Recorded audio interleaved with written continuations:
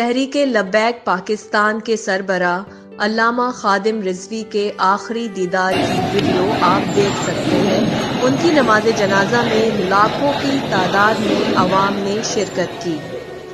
तहरीक लब्बैक पाकिस्तान के सरबरा अलामा खादिम हुसैन रिजवी की नमाज़ जनाजा को लाहौर की तारीख का सबसे बड़ा नमाज़ जनाजा का इज्तम करार दे दिया गया। हामिद मीर कहते हैं कि ये माशरे और मीडिया की मुनाफिकत का भी जनाजा है। तफसीलात के मुताबिक समाजी रबतों की वेबसाइट ट्विटर पर मारूफ सहाफ़ी और तजिया निगार हामिद मीर ने लिखा है कि अल्लामा खादिम हुसैन रिजवी चंद रोज पहले तक ज़िंदा थे तो उनकी तकरीर और जलसा टीवी पर भी नहीं दिखाया जा सकता था। लेकिन, अब जबकि वो इस दुनिया से जा चुके हैं तो सदर ममलिकत से लेकर कल अदम तहरीक तालिबान पाकिस्तान तक सबने ताजियत कर दी।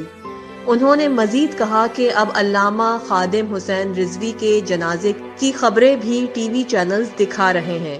ये दरअसल माशरे और मीडिया की मुनाफिकत का भी जनाजा है।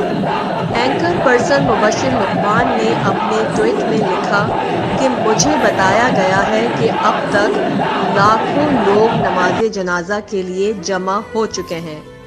मैं नहीं जानता कि लोगों की गिनती का पैमाना क्या है, लेकिन यकीनन ये लाहौर की तारीख में सबसे बड़ा जनाजे का इज्तम है।